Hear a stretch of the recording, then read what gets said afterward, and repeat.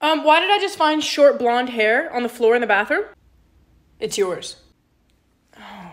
Yeah, you know how your hair gets those pretty, pretty blonde highlights in the sun? It's obviously. Yeah, you know my hair does get blonde highlights in the in the sun. Yeah. Duh. You're right. No. I just got a knock on the door from some girl saying that she's breaking up with you and that she's gonna expose you for cheating on me. Just some random liar. Don't worry about it. Oh.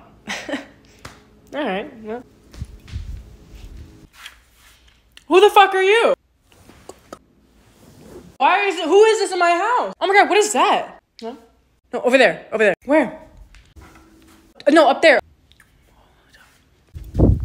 There. There.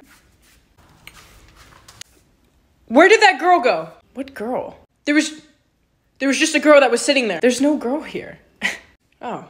Okay. Look, it's time to go to the doctor. You're very clearly saying things. Yeah, you're so right. I must have just envisioned that. It's kind of concerning. I'm gonna go cook some dinner for you, okay? I love you. Yeah, you do that. How many times are you gonna cheat on me? How many times? Maybe if you showed me love the way that my love language is, I wouldn't go and cheat on you. You make me cheat. You're right. I I did that. Yeah, it's your fault. I made you cheat on me. Y- yeah, obviously. I'll be better. Yeah, that's so.